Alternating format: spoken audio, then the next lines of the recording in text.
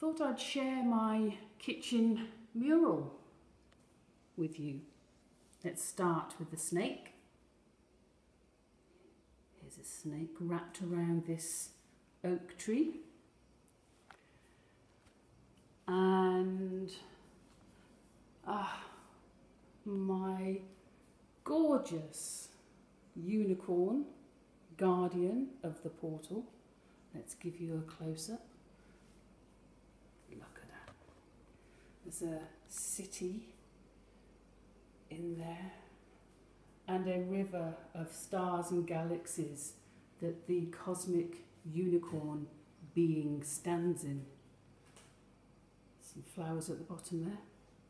And the oak tree, sky, some birds. I've been profoundly inspired by a guy on YouTube called Mural Joe.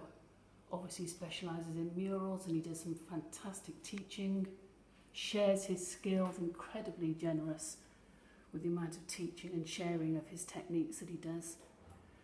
Here's my oak, comes over the archway here, over the arch, and then connects here with that star symbolism beautiful symbolism of the star, not quite a pentagram, hasn't got a circle around it, but the magical symbol of the pentagram star.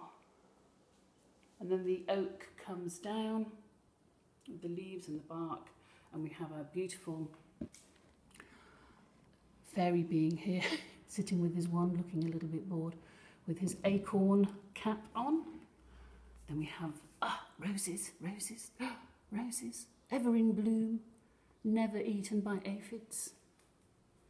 Got some beautiful yellow roses, and I've got my purple roses, some ferns, some gorgeous birds.